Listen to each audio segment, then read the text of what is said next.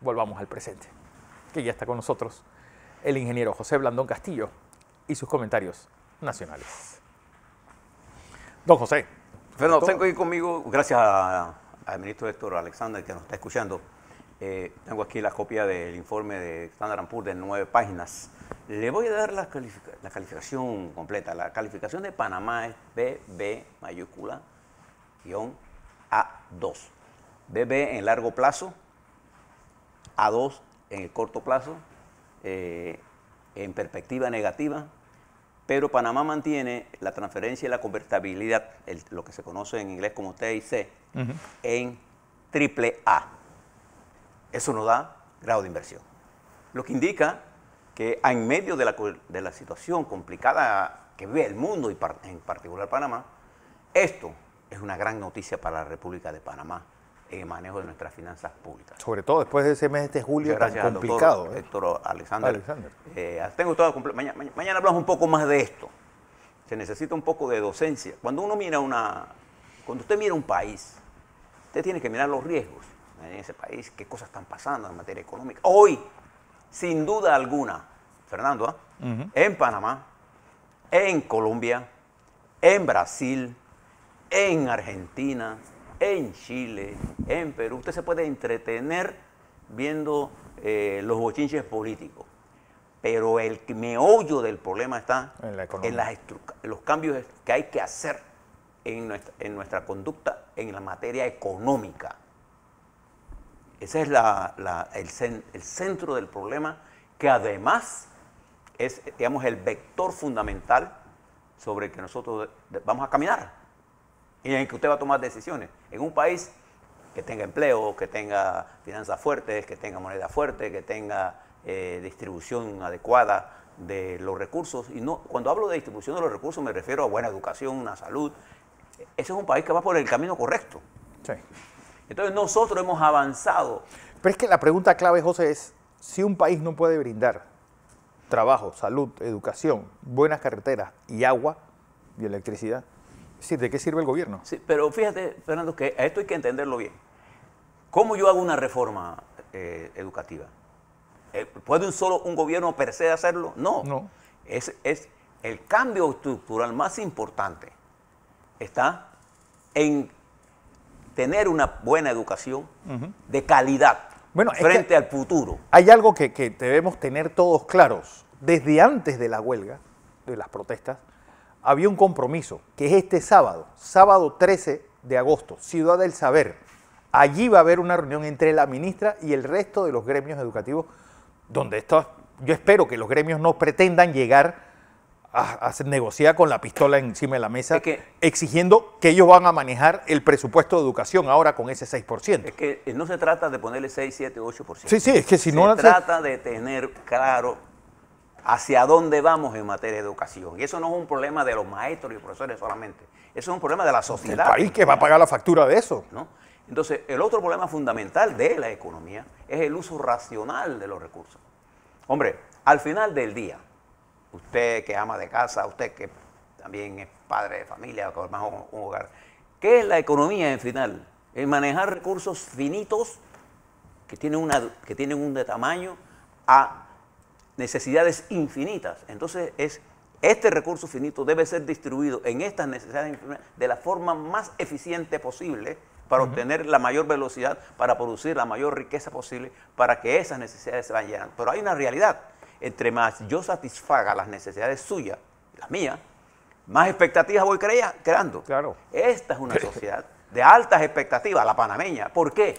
Hombre, llevamos 30 años de crecimiento sostenido no, no, no, no, no, no perdamos de vista que la transferencia de nuestro principal recurso estratégico produjo cambios sustanciales. Yo nada más quisiera pedirle que ustedes cojan una foto aérea del año de 1990, en cualquier su punto, y mide una del 21 sobre toda el área de lo que es el centro logístico panameño y usted verá la diferencia en puertos, en el canal ampliado, en los aeropuertos, en la zona libre, en Howard, Usted está viendo un cambio que hicimos. Pero eso no es suficiente. Claro que nunca va a ser suficiente. Bueno, es que es la pirámide de Maslow, José. Entonces, creo que es importante, al entender esto, entendemos esto. Por ejemplo, hay un tema fundamental que tenemos que mirar nosotros. Y fíjese que yo le usé la palabra eficiencia y productividad. La economía capitalista y sobre todo los modelos que se, se, ampararon sobre ese desarrollo capitalista, que es los medios de producción en su mayoría en manos de sectores privados, ha producido a lo largo de su periodo, y sobre todo en las últimas décadas, cambios desde la globalización, en la que los Estados Unidos trasladó una parte importante de su, su, paquete industrial al donde había el costo de mano de obra más barato. Y más disciplinado. Y más disciplinado y más productivo y generó en China, en Asia, formidables desarrollos de esos países. Y se dio cuenta ahora, en medio de la pandemia, que no podía tener respiradores, no tenía gasas. y, se y en medio de la pandemia se da una crisis de qué? Del sistema de, comunicación, de, ventas, de comercialización. La cadena de, comercialización se, se vio afectada. Entonces, Ahora los Estados Unidos y el mundo en general viene de vuelta al replanteamiento de una reestructura del modelo capitalista de producción para hacerlo más eficiente, para hacerlo menos dependiente. Europa trabaja en mejorar los modelos de, suministro de gas y no depender de Rusia solo. ¿eh? Estados Unidos ahora quiere buscar inversiones, se ha firmado acuerdos con nosotros. Entonces nosotros tenemos una gran perspectiva. ¿Qué es lo que no tenemos? No hay una clara comprensión en el país de cuáles son los problemas fundamentales que tenemos que resolver. Y no solamente porque no hay economistas, sí, los economistas te los dicen de receta, pero el problema no es un problema económico nada más, es un problema político. Entonces la economía política, entendida perfectamente, produce proyectos gigantescos. Nuestro crecimiento de 30 años definió una, política económica que se ha agotado, se ha agotado áreas de esa política económica. Pero, por ejemplo, nuestra política de sistema logístico, no, lo que tenemos que hacer nosotros, las conexiones regionales, para que el desarrollo sea horizontal eh, en todo el, territorio. O sea, nosotros necesitamos comunicar David con Panamá, con trenes, necesitamos conectar Chiriquí con Bocas del Toro, necesitamos Bocas del Toro con Colón. Desarrollar todo el Atlántico. Son cosas que tenemos que hacer y vamos a hacer. Ahora la coyuntura estas decisiones que se están tomando, sin duda, en el tema de la medicina, Fernando, la medicina es un tema que le importa a todos los panameños. A todos. Pero fíjese la situación que tenemos hoy. El gobierno ha puesto un listado de 170 eh, eh, productos en un esfuerzo directo a, decir, bueno, aquí está un listado de los que, que vamos a bajar los precios. Eso tiene unas consecuencias. Pero además la Asamblea está trabajando una ley de medicamentos. Ahí viene la primera cosa. ¿Esto encaja bien en lo que, está, lo que ha planteado el gobierno? No lo sé porque no he leído la ley de medicamentos. Pero estratégicamente, ¿qué es lo que más impide el desarrollo, incluso en los Estados Unidos? Los oligopolios. Porque la economía nuestra, el sistema como está concebido, trabaja ante, ante mayor competencia allá. Y es la competencia abierta, sana, la que produce el manejo de los precios, la intervención del Estado en la economía para determinar topes, lo que hace es producir una, eh, incertidumbre que hace negativa la atracción de inversiones, que es lo que necesitamos para producir empleo. Esto es complicado de explicar políticamente, porque las necesidades de corto plazo están en este país nuestro exacerbadas por la mala información o la información tergiversada en materia de los indicadores económicos que se están manejando en el país. Entonces yo noto una falta de comprensión, de estudio de la economía. La gente tiene que aprender economía. Por ejemplo, usted, cuando hable del sector eléctrico, aprenda a leer su factura. No diga que yo me gasto 70 dólares, diga consumo tantos kilowatts por hora. Y aprenda a leer su medidor porque es la forma que usted se debe cómo ahorrar. Y ponga a sus hijos que saben de tecnología, pues son todos son medidores digitales y compare la, la lectura que le llega con la que usted tiene.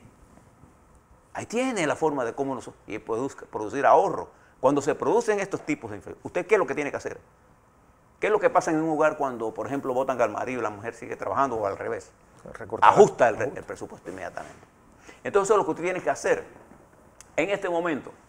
Nuestro país, fíjese lo que nosotros hemos hecho súper bien. Nosotros tenemos, por ejemplo, eh, empresas estatales. Es lo que le trataba de, eh, trataba de conversar aquí con eh, Saúl. Esta no es una economía capitalista abierta, exclusivamente. Esta es una economía mixta. Mercantilista más que capitalista. mixta. Bueno, vamos a llamarla capitalista porque el modo de producción, los medios de producción en Panamá están en manos privadas. Y también la, la, empresa más importante del país, que es el canal, está en manos públicas. Es mixta y nos movemos en ese mundo. Que hay que hacer más ajustes para mejorar salarios y mejorar precios, sin duda alguna. Pero tenemos que actuar con la disciplina. Observe lo que está haciendo Petro. Voy a terminar aquí. ¿Por qué Petro en su gobierno puso sectores conservadores y del centro? Porque no se puede hacer la reforma que él crea, que él quiere, si no hay un consenso político. ¿Y qué es lo que hizo? Presentó la reforma fiscal en el primer día de gobierno. Con todo el capital de su lado. ¿Y qué le dice eh, Juan González a los empresarios? Hay que movernos en los cambios. Y nosotros en Panamá tenemos que hacer cambios, sin duda alguna. Pero esos cambios tenemos que moverlos dentro de la estructura orgánica que da la democracia. Aquí hay gente que quiere hacer las dos cosas. Asaltar la democracia e impedir que sea la democracia la que resuelva el problema. Y entonces queremos mezclar los problemas coyunturales con las elecciones del 2024.